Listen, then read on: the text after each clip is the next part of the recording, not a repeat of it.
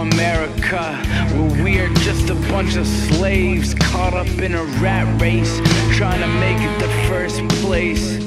Hypnotized with propaganda and lies, infiltrating our minds, telling us everything's gonna be alright while they're out committing crimes. They wanna keep us scared and afraid of things that don't even exist or never happened. I wonder why. They wanna keep us dumb.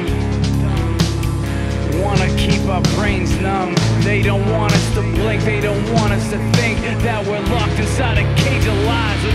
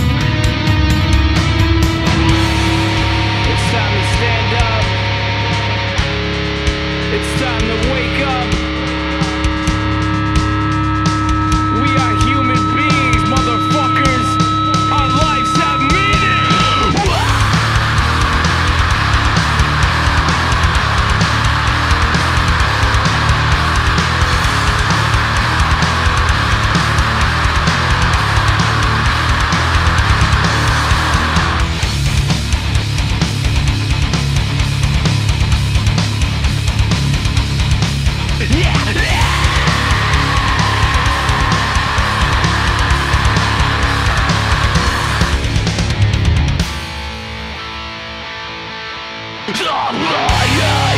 do you want?